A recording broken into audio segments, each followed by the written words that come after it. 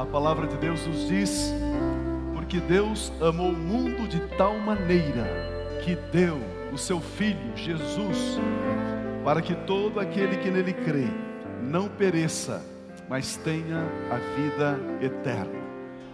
Queridos, Páscoa fala de amor, Páscoa fala de salvação, Páscoa simboliza que um cordeiro foi morto para que o juízo de Deus, a punição de Deus, não viesse sobre a minha vida, sobre a sua vida, mas caísse somente sobre Jesus, para que eu e você pudéssemos viver em paz, em alegria, em plena, em plena alegria.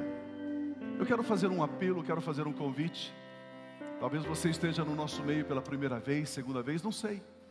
Mas o convite é o seguinte: você quer entregar a sua vida a Jesus? Eu não estou falando de uma igreja, não estou falando de uma religião, não. Eu estou falando da necessidade que eu e você, todos nós, por sermos pecadores, precisamos, nós precisamos de um Salvador. Nós necessitamos de um Salvador. E Jesus Cristo, Ele é o nosso Salvador, Ele é a nossa Páscoa, Ele é o nosso resgatador. E em Jesus nós temos o perdão dos nossos pecados. E em Jesus nós temos a certeza da vida eterna, da salvação eterna. Em Cristo Jesus, nele e somente nele. E aí então nós alcançamos paz, alegria, felicidade. Nós temos a provisão de Deus, o cuidado de Deus através de Cristo Jesus. Você quer ter certeza da salvação? Você quer ter a certeza de que quando partir dessa terra, você vai habitar na presença de Deus para todo sempre. Se essa é a sua escolha, se esse é o seu pedido, se essa é a sua busca, entregue a sua vida a Jesus. Ele é o caminho, a verdade e a vida. Ele é o nosso Salvador. Jesus Cristo, a nossa Páscoa. Se você quer entregar o seu coração, a sua vida a Ele, se você quer permitir que Ele te salve, que Ele te dê paz, alegria, felicidade, Aí é onde você está, com toda liberdade, com toda liberdade, em nome de Jesus, eu convido você a fazer um gesto, levantando uma das mãos, dizendo: Eu entrego a minha vida a Jesus, eu quero a salvação, eu quero o perdão dos meus pecados. Aí onde você está, com toda liberdade, levante uma das mãos aqui no meio. Deus abençoe, Deus abençoe, Deus abençoe, Deus abençoe. Pode abaixar a sua mão ali atrás. Deus abençoe, Deus abençoe. Graças a Deus. Pode abaixar a sua mão aqui desse lado.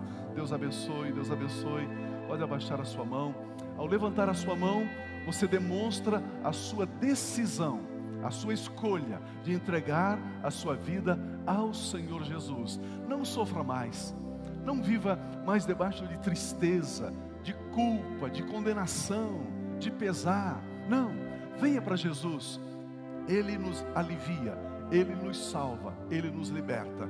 Se você ainda não levantou a mão, o moço, a moço, o homem, a mulher, se você ainda não levantou a mão, faça isso agora, em nome de Jesus, dizendo: Eu quero a salvação, eu quero Jesus, eu quero o perdão dos meus pecados. Aqui na frente, Deus abençoe, Deus abençoe. Pode abaixar a sua mão. Mais alguém? Mais alguém? Aproveite esta oportunidade. Você não está aqui por acaso. Ali atrás, amém. Glória a Deus, glória a Deus. Pode abaixar a sua mão, graças a Deus. Você não está aqui por acaso. Você veio para ter um encontro com Jesus, com a salvação com a vida eterna. Se você ainda não levantou a mão, faça isso agora com toda liberdade. Não precisa ficar constrangido, não precisa ficar acanhado. Não, esta é a sua hora, este é o seu momento. Em nome de Jesus, em nome de Jesus. Eu quero pedir uma gentileza, todos vocês que levantaram as suas mãos, vocês poderiam me fazer um favor? Vir aqui à frente, saia do seu lugar, venha até aqui à frente, nós queremos orar abençoando a sua vida. É isso que vamos fazer, orar abençoando. Se você está com alguém da igreja, essa pessoa acompanha você até aqui à frente, para você não vir sozinho. Ela vem com você, pode vir isso. Vem aqui à frente, nós vamos orar por você, nós vamos abençoar a sua vida em o nome do Senhor Jesus. Pode vir, pode vir, pode vir aqui à frente. Graças a Deus. Eu quero falar para você que nos acompanha pela internet, que nos assiste pela internet. Nesta hora, você poderá fazer esta oração juntamente conosco, entregando a sua vida a Jesus, tendo perdão dos seus pecados, tendo a vida eterna assegurada a você. Enquanto esses queridos estão vindo aqui à frente, eu quero estender esse convite para você que já frequentou uma igreja. Por uma ou outra razão você parou, você desistiu, mas hoje você quer reconciliar-se com Deus. Vem aqui à frente. Você quer voltar para os braços do nosso Pai Celestial? Vem aqui à frente. Essa é a sua hora. Este é o seu momento. Este é o seu dia de reconciliar-se com Deus. Você quer voltar para os braços do Pai? Vem aqui à frente nesta hora, em o um nome do Senhor Jesus. Aleluia.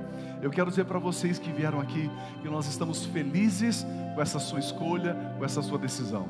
Mas muito mais feliz do que nós está o próprio Senhor Jesus, está o próprio Deus, porque hoje você está dizendo: Deus, eu escolho dar a minha vida a Ti, eu escolho viver a Sua vida, eu escolho receber o perdão dos meus pecados, eu escolho viver para Ti, Jesus. A Bíblia Sagrada diz, não sou eu, mas a Bíblia diz, que nesse instante todos os seus pecados serão perdoados. Todos, todos. A Bíblia diz que você se torna uma nova pessoa, uma nova criatura. As coisas velhas ficam para trás.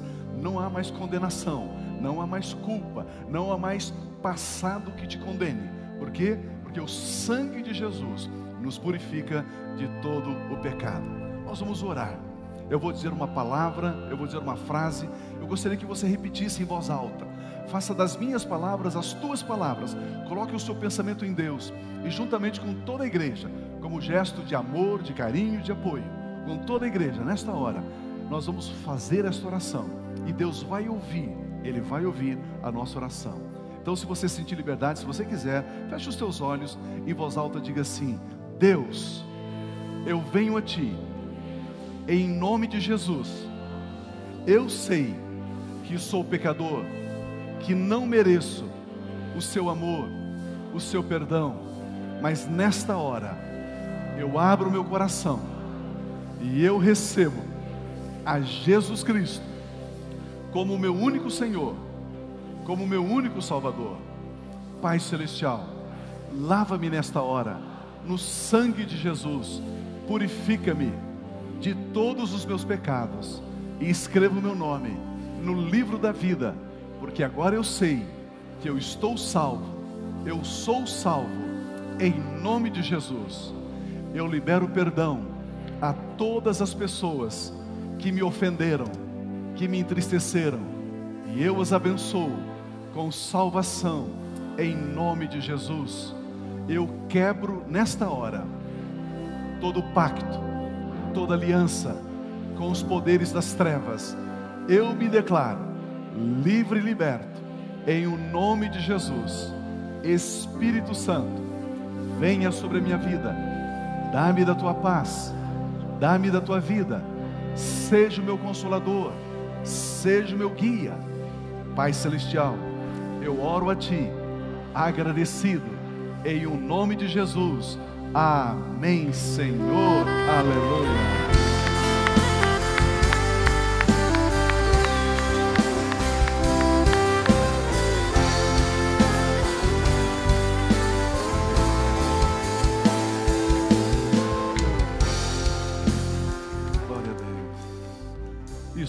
Vieram aqui à frente, fique de costas para mim, dê meia volta, olhe para a igreja, a igreja tem algo a dizer a você. A igreja vai dizer o seguinte: sejam bem-vindos à família de Deus. Nós amamos cada um de vocês, em o um nome de Jesus. Amém, Senhor. Aleluia.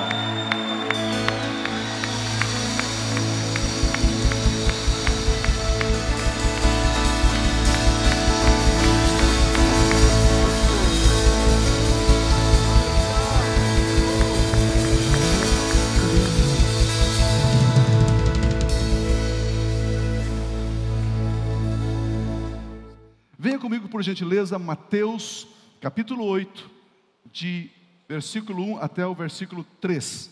Mateus capítulo 8, de 1 a 3. Quando ele, Jesus, desceu do monte, grandes multidões o seguiram. Um leproso, diga comigo, leproso. Um pouquinho mais alto, leproso. Aproximando-se adorou, de joelhos e disse: Senhor, se quiseres, podes purificar-me, podes curar-me. Jesus estendeu a mão, tocou nele e disse: Quero, seja purificado. Imediatamente, instantaneamente, no mesmo segundo, no mesmo instante, ele foi purificado da lepra. Aleluia, glória a Deus, glória a Deus, graças a Deus.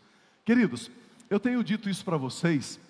A Bíblia é um livro compacto, é um livro econômico. Por isso que é, eu sempre digo aos pastores, aos, aos líderes ligados a nós, dizer o seguinte: olha, você precisa estudar, tem que estudar, você tem que ir atrás, você tem que conhecer um pouquinho de grego, você tem que fuçar um pouco a palavra de Deus, você tem que estudar. Né?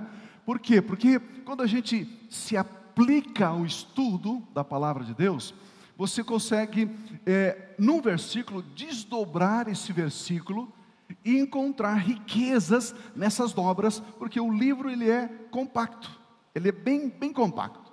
E aí então, nós pastores, pregadores, precisamos abrir e desdobrar esse, esses textos para que haja uma melhor compreensão, não é verdade? Por exemplo, se você for estudar direito, o direito tem toda uma linguagem, tem todo, todo um, um tipo de abordagem, de linguagem, de verbos, de significação.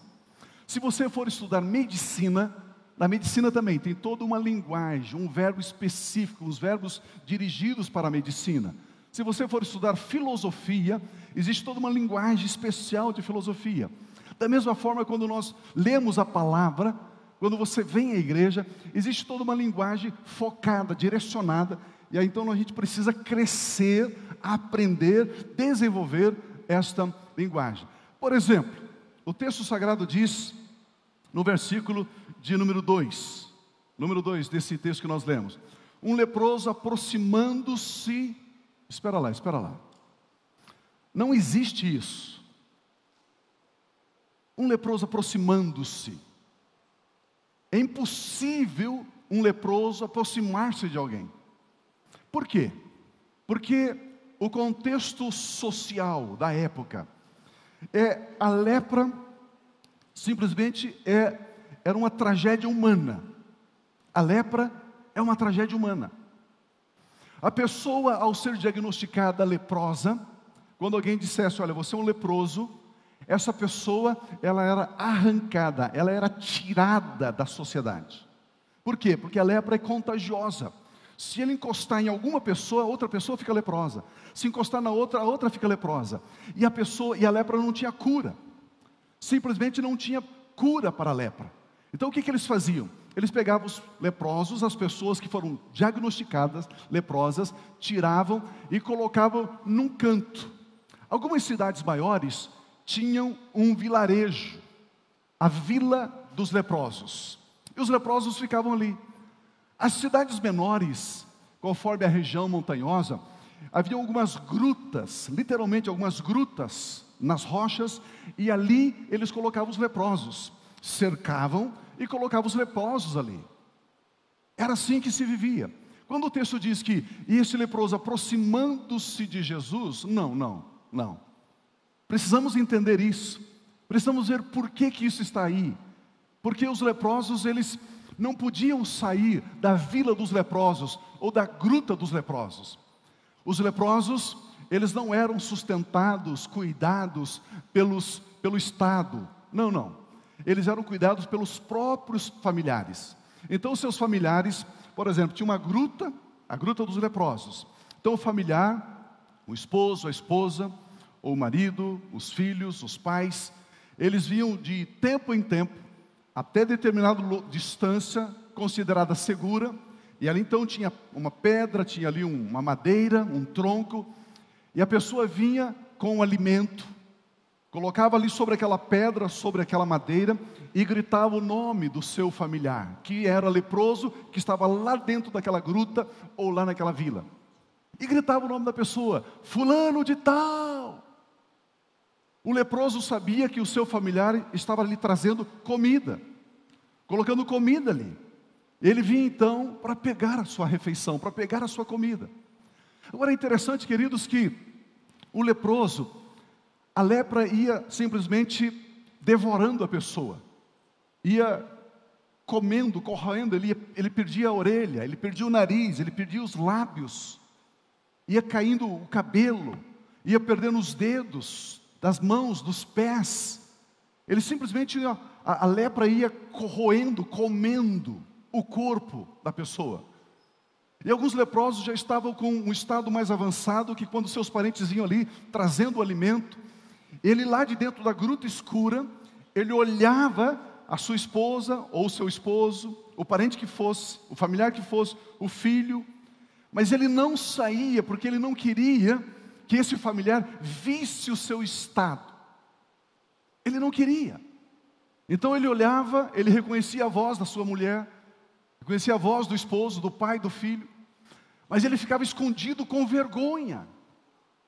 Com vergonha, ele não saía para dizer: Oi, querida, oi, querido, como você está? Não. Agora vamos imaginar esse leproso. Vamos imaginar que ele tivesse aproximadamente 30 anos de idade quando foi diagnosticado a lepra. E vamos supor que ele tinha um filhinho de, sei lá, 10 aninhos de idade. Ele jamais poderia esquecer aquele dia onde as autoridades do povo veio ali, diagnosticou que ele era leproso e arrancou ele do seio da família deixando a esposa e deixando o seu filho, de dez aninhos, e levou ele para a gruta dos leprosos, e jogou ele ali.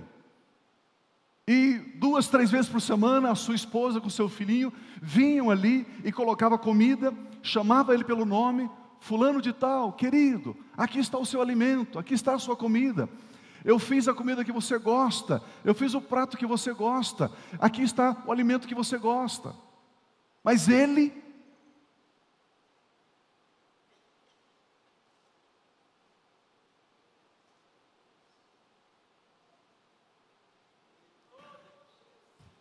O leproso, ele não podia sair daquela gruta. Ele estava com vergonha. Ele olhava o rosto do seu filhinho, o rosto da sua esposa, mas eles não viam mais ele. Ele colocava um capuz sobre a cabeça, ele escondia as suas chagas, purulentas, mal cheirosas. Vamos supor que esse leproso tenha estado ali por três anos, quatro anos, cinco anos. Ele via que o seu garoto estava crescendo. Ele olhava e via que o menino crescia. Quando o menino chegava ali, uma vez por semana, duas vezes por semana. Mas era um filho que não tinha um abraço do pai, o carinho do pai. Era um pai que não podia brincar com o filho, não podia falar com o filho, não podia educar o filho, não podia corrigir o filho, porque ele era leproso. A lepra, uma tremenda tragédia, que levava a pessoa a viver isolada. Interessante que havia um conceito na época de que a lepra era o juízo de Deus, era a ira de Deus sobre a pessoa. E essa pessoa então vivia debaixo de condenação, debaixo de peso, debaixo de tristeza. E muitos pensavam: o que foi que eu fiz de errado para merecer esse castigo, esta penalidade? O que foi que eu fiz de errado, Deus? Deus, ao menos se eu soubesse qual é o meu pecado, Deus. Eles tinham toda essa culpa, essa condenação, essa opressão. O isolamento da família, o isolamento da sociedade, não tinha mais projeto, não tinha mais trabalho. Poderia ser ele o profissional que fosse, capaz que fosse, ele era arrancado da sociedade, jogado naquela gruta. E além, além disso, ele tinha culpa. Alguns leprosos entravam numa crise emocional existencial tão grande que eles diziam: não aguento ficar aqui nessa gruta, não aguento ficar aqui nessa vila. Então eles se cobriam com capuz, roupas mangas compridas e eles saíam na sociedade para ver um pouco, para ver um, um, uma, uma outra paisagem, um outro ambiente. Mas se porventura alguém se aproximasse dele, ele gritava e dizia assim: leproso, leproso. Ele se autodenunciava. E as pessoas se afastavam dele. E muitos pegavam em pedras para apedrejá-los. E muitos leprosos que se afastavam muito da vila ou da gruta, eles eram apedrejados. Morriam apedrejados. E o leproso sabia que ao sair ele corria risco de vida, ele poderia morrer, apedrejado pela sociedade, porque ninguém queria um leproso perto, porque a lepra era contagiosa. Essa era a situação. Esta era a situação. Era isso que estava acontecendo. Lepra, a Bíblia também diz que é símbolo do pecado. Pessoas que se envolvem na prática do pecado, que vivem pecando, que planejam pecar. É um tipo de lepra. Quantas pessoas destroçam seus lares, a sua família, a sua profissão por causa do pecado? Por causa do pecado. E às vezes perdem tudo, e às vezes são jogados à margem da sociedade por causa do pecado. A lepra também simboliza o pecado, é um tipo de pecado. Agora, esse texto que nós lemos diz que esse homem, aproximando-se de Jesus, para ele aproximar-se de Jesus, ele teve intencionalmente, conscientemente, sair da gruta, vir em direção a Jesus. Agora, queridos, Jesus ele não andava sozinho. Por onde Jesus passava, uma grande multidão seguia Jesus. Olha o que diz o texto no versículo 1. Quando ele desceu do monte, grandes multidões o seguiram. Grandes multidões o seguiram. Como é que um leproso poderia aproximar-se de Jesus se ele estava no meio de uma multidão? A multidão naquela época se formava da seguinte forma: estava aqui Jesus, vamos supor, eu sou Jesus, ao redor de Jesus estavam os discípulos de Jesus. E os discípulos de Jesus eram os seguranças de Jesus. Eles andavam armados. Pedro andava com espada. Lembra quando vieram pegar Jesus, que ele arrancou a espada e cortou a orelha daquele homem, do Malco? Então, os, os discípulos de Jesus eram os seguranças de Jesus. Jesus andava com segurança. E Jesus tinha uns 12 discípulos e tinha mais 70 o grupo de discípulos de Jesus era de 70 pessoas. E a multidão então se formava assim: Jesus estava ali, primeiro os 12, depois os 70. Depois vinham os homens. Os homens. Se fosse alguma autoridade, algum homem importante, algum vulto da sociedade, este poderia até aproximar-se e andar do lado de Jesus. Por isso que você encontra muitas vezes que Jairo, o principal da sinagoga, falou com Jesus, Fulano falou com Jesus, porque eram as autoridades da época. E depois dos homens, aí vinha o grupo das mulheres. As mulheres, depois que formavam então a multidão. Por isso que quando você vê na Bíblia que uma mulher aproximando-se de Jesus, não era tão simples assim.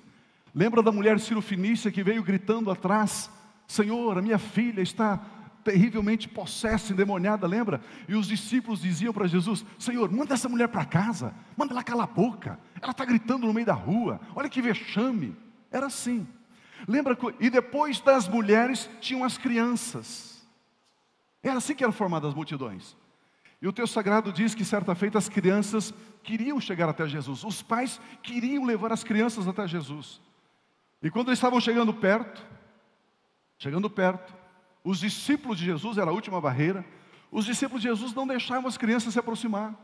Pegavam uma pelo cabelo e jogava, chutava a outra, dava um pescoção na outra. Era assim que os discípulos de Jesus fizeram com as crianças. Queridos, eles rechaçavam com violência. Você acha que as multidões daquele dia eram assim, andavam tudo assim, ó. Jesus está passando. Não. Se eles passassem por um vilarejo, eles quebravam cerca, eles pisavam em cima das hortas, eles, aquela multidão destruíam tudo. Era assim. Era assim que eram formadas as multidões. Por isso que esse texto diz que as multidões seguiram Jesus, ele desceu do monte e aproximando-se dele um leproso. Ei, ei, ei, ei, espera aí. Percebe que a Bíblia é um livro compacto, você tem que abrir, abrir, abrir para ver o que está escrito ali? Como assim aproximando-se dele um leproso?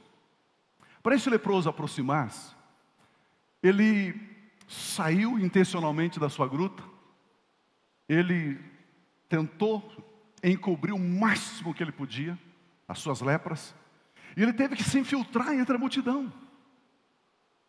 Ele teve que se infiltrar entre a multidão. E é interessante que quando ele viu Jesus, ele se autodenuncia. Ele diz assim: leproso, no meio de uma multidão. Os primeiros a saírem correndo foram Pedro, João, Tiago. Os primeiros a saírem correndo foram eles, leproso, leproso. E a multidão já pegou em pedras e diz: Como que um leproso vai estar no meio da multidão? Não pode. E alguém disse: Não, ele tocou em mim, ele tocou em mim. E já tirou a capa, já jogou a roupa. Não, não, mas ele. Já causou um tumulto, irmãos, que vocês não imaginam. E algumas pessoas já pegando em pau para dar na cabeça dele, falando: Vamos matar esse camarada, safado, sem vergonha, leproso, você não pode estar aqui.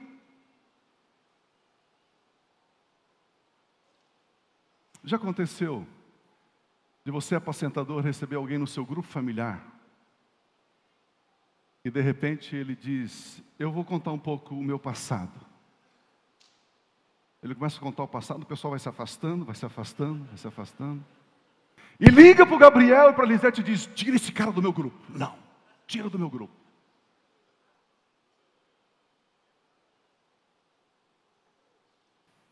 Você sabe do que eu estou falando. Você sabe do que eu estou falando exatamente o que estava acontecendo ali. Exatamente o que estava acontecendo ali.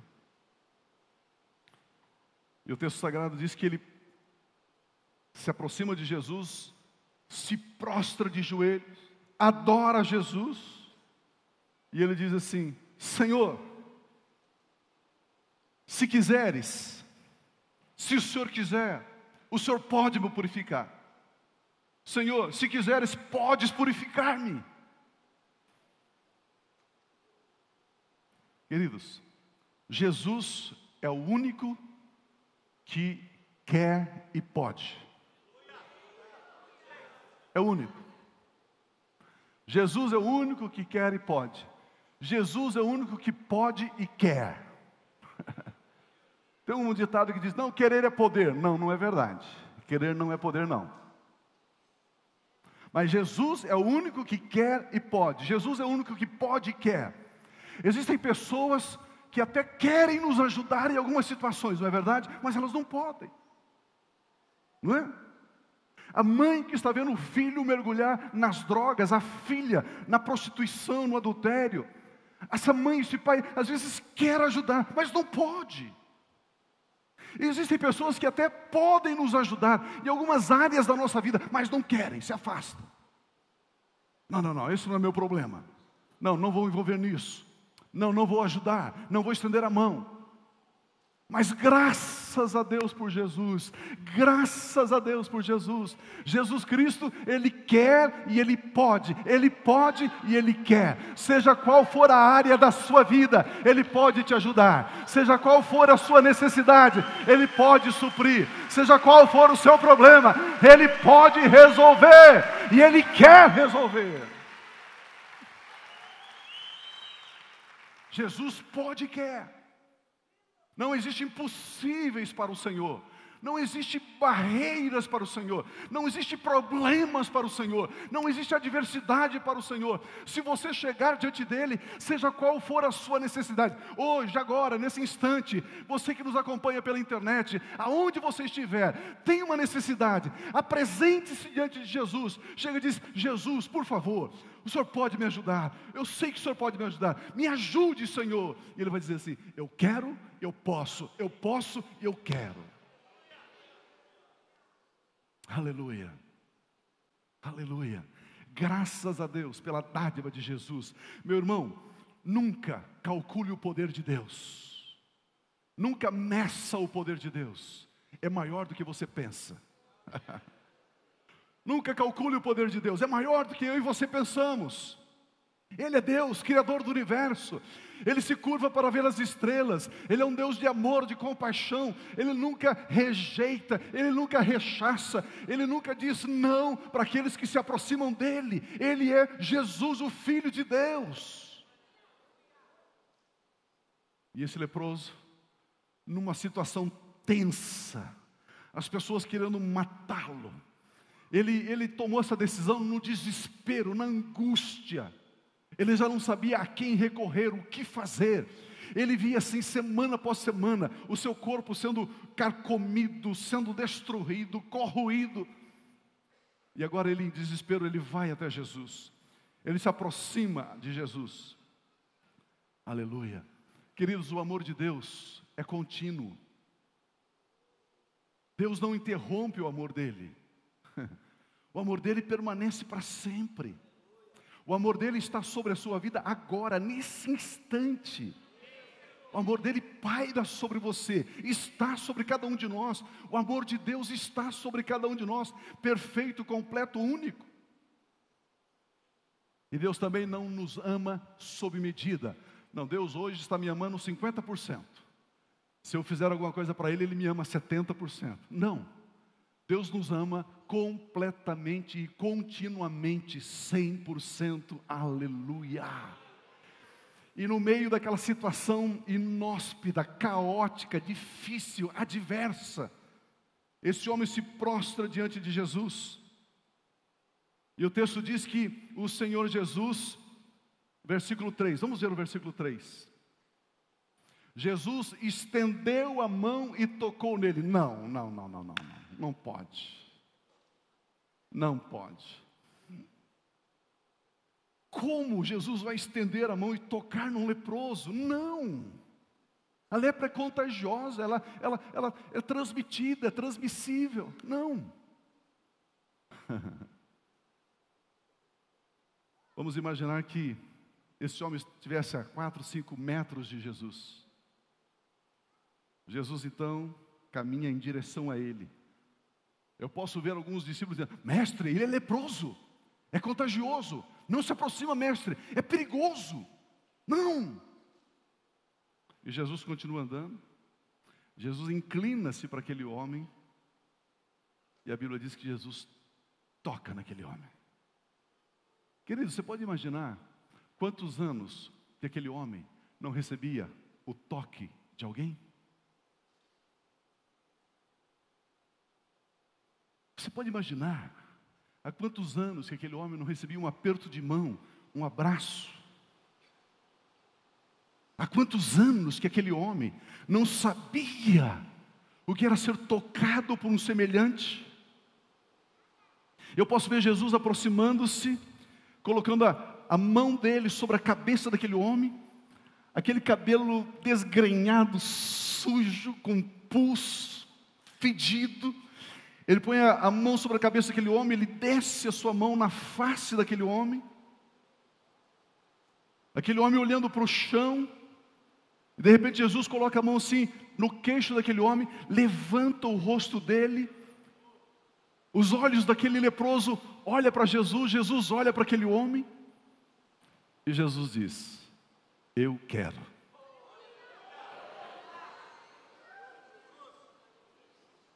Aleluia. Aleluia. Jesus diz: Eu quero. Jesus diz: Eu quero. Eu quero que você seja purificado. Queridos, nós podíamos ficar uma semana conversando sobre esse eu quero. Sabe o que significa isso? Ele não quer que você sofra. Ele não quer a sua dor.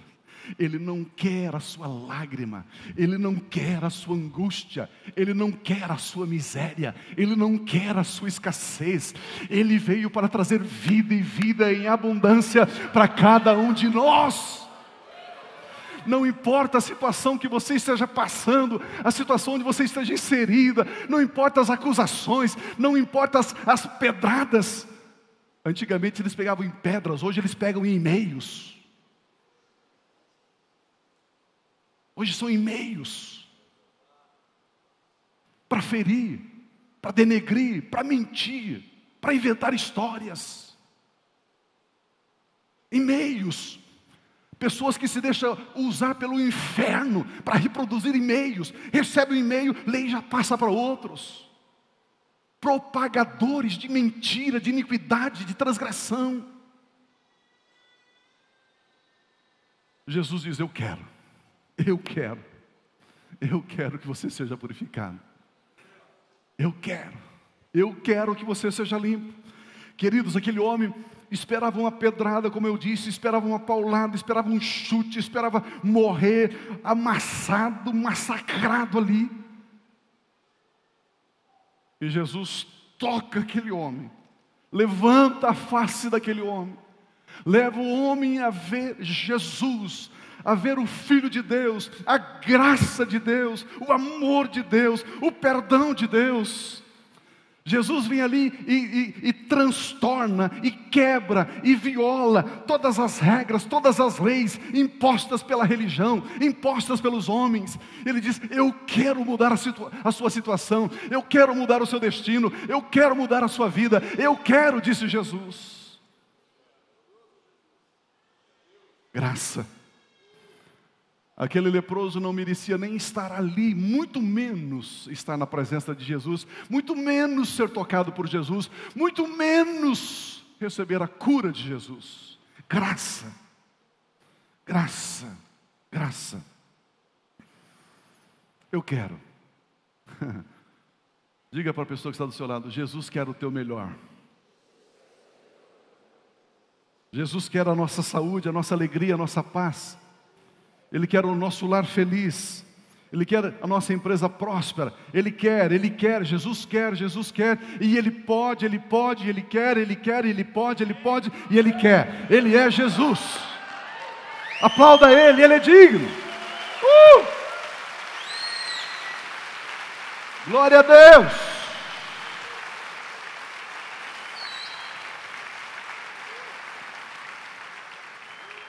Versículo 3. Jesus estendeu a mão, tocou nele e disse: Quero, seja purificado. E Jesus disse: Só que é o seguinte, agora você tem que fazer uma oferta de sacrifício. Dê tudo que você tem, e aí você vai ser curado. Daqui um mês você recebe a cura, daqui um ano você recebe a cura. Foi isso que Jesus fez? Leve o lencinho do apóstolo, aí você vai receber a cura. Leve a meia do apóstolo, aí você vai receber a cura. Foi isso que Jesus disse? Não.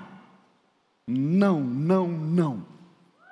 O texto diz: imediatamente, instantaneamente, ele foi purificado da lepra. Aleluia, aleluia, aleluia, aleluia, aleluia, aleluia. Queridos, e não era somente, e não era somente a cura da lepra, Ali precisava de um milagre criativo. O nariz que ele já havia perdido precisava ser recriado. A orelha que já havia caído precisava ser recriada. O cabelo emplastrado, aquela coisa horrível, precisava ser transformado num cabelo limpo, cheiroso, perfumado. Os dedos que já haviam caído precisavam nascer de novo. A pele que ele já não tinha precisava ser restaurada. É, aquilo começou a fazer tudo de novo, nariz novo tal. E Jesus tira aquele capuz, as pessoas olhando, não, mas é um nariz novo. Olha, nasceu orelha, eu vi uma orelha, nasceu orelha, ele não tinha, agora tem. Olha as mãos, ele não tinha dedo, agora tem. Olha, e, e aquele homem ficou em pé, os pés, perfeito. Pele nova, olhar novo, sobrancelha nova, tudo novo, unha nova, lábios novos, tudo novo Aleluia. Que coisa tremenda. Aleluia. Aleluia. A Bíblia diz que Jesus é o mesmo ontem, hoje e será para sempre. O mesmo Jesus que disse para aquele leproso: Eu quero, Ele está aqui nesta hora. Ele passeia entre nós. Ele está perguntando para você o que você precisa, o que você quer. Diga, Jesus, toque a minha vida, liberta-me desse pecado, liberta-me desse vício, liberta-me dessa opressão, liberta desse ódio que está no meu coração. Jesus, transforma-me, faça-me uma nova criatura. Eu preciso de ti, Jesus. Jesus, coloque amor no meu coração, esperança no meu coração, vida na minha vida. E ele vai dizer: Eu quero, eu quero, eu quero, eu quero, eu quero, eu posso, eu quero, eu posso, eu quero, eu posso, eu quero.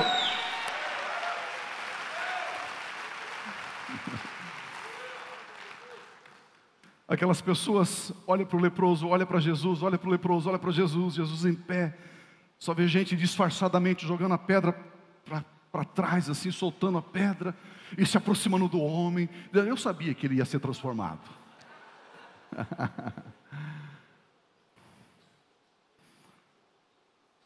Aí Jesus olha para ele, sorri, e aquele homem vai se afastando, vai saindo, saindo.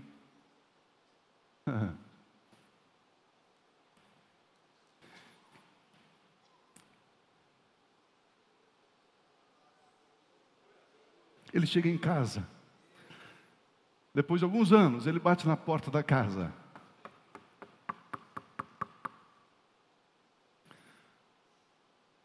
A mulher diz: Quem será que é? E ela vai lá abrir a porta. Olha, pois não, moço, o que o senhor deseja? Aí ele dá um sorriso. Ela olha e diz: Não, não, mas você, você é você? Você é quem eu estou pensando que você é? E nisso chega o garotinho, agora já com uns 15, 16, 17 anos, do lado da mãe, diz: Mamãe, quem que é? É filho, eu, eu acho que é, mas não sei se é. Mas, mamãe, quem que é esse homem? Mamãe, que transformação foi essa? Que mudança? O que está acontecendo? Filho, esse é seu pai. Mas mamãe, você disse que não tinha jeito, que ele era um alcoólatra, que ele era um adúltero, que ele era um perdido, que ele era um bandido, que ele era um desgraçado. O que, que aconteceu com ele, mamãe? Eu não sei, filho. Ele diz: Eu encontrei com Jesus. E Jesus disse que queria e podia. Eu me encontrei com Jesus, sou eu. Sou eu. Sou eu. Sou eu. Sou eu. Sou eu. Agora ele abraça a esposa, abraça o filho, e ela diz: Mas o que, aconteceu com você? Ela diz: Ah, não sei tudo o que aconteceu comigo. Eu vou levar semanas, meses para explicar para você o que aconteceu comigo. Aleluia. Aleluia. Queridos, isto é Páscoa. Isso é Páscoa. A dádiva de Jesus, Ele deu Jesus. Para que as nossas doenças, dores e enfermidades caíssem sobre Ele, sobre Jesus. Isso é Páscoa. Para que eu e você vivêssemos em novidade de vida. Para que eu e você vivêssemos em paz para que eu e você vivêssemos cheios do Espírito, para que eu e você vivêssemos em esperança. Quero convidar você a ficar em pé, por gentileza. Aleluia. Aleluia. Aleluia. Se você sentir liberdade, feche os teus olhos por um minutinho, já estamos encerrando. Mas existe uma presença tão gostosa nesse lugar. Oh, Jesus, te chamamos, Jesus. Jesus, o Senhor conhece a vida do meu irmão e da minha irmã. Jesus, a necessidade que cada um está colocando, Jesus, eu ouso dizer no teu nome que o Senhor quer e pode. O Senhor pode e o Senhor quer. Jesus, não precisamos mais viver debaixo do grilhão, da cadeia, da gaiola, da lepra, do ódio, da inimizade, da ira, da raiva. Deus, Jesus, livra-nos daí, Jesus. Tira-nos daí, Jesus, do álcool, da pornografia, dos pensamentos impuros. Recebemos a tua graça, Senhor. Recebemos a tua graça, Senhor recebemos a tua graça, Senhor. Jesus, liberta-nos de nós mesmos. Liberta-nos de nós mesmos. Mais de ti, Jesus, em nós. Toca-nos. Espírito Santo, toca-nos. Uma vez mais, toca-nos. Toca-nos uma vez mais, toca-nos. Toca-nos shatala kasala bashanda na bakata la basoto ya balaba sandaraba. Oro kosolo koshoto no kondaraba ba ba ba ba ba ba ba. Oh, toca-nos, envolve-nos com os teus braços de amor. Toca, Senhor, essa mulher, toca esse homem, toca essa família, Senhor, esse filho, essa filha, esse pai, essa mãe. Toca, Senhor. Toca, Senhor, essas emoções, toca esses sentimentos. Toca no Senhor. O Senhor quer e o Senhor pode. O Senhor quer e o Senhor pode. O Senhor quer e o Senhor pode. Toque, Senhor, essas finanças, toque esse emprego, essa empresa, esses sonhos, esses projetos. Toca, Senhor. Toca, Senhor. Toca no Senhor. Toca no Senhor. Toca no Senhor. Queremos mais de Ti, mais da Sua glória, mais da Sua visitação.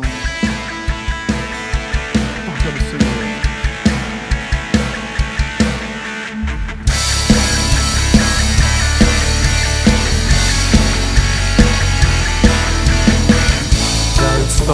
grande dia venceu a morte e me resgatou.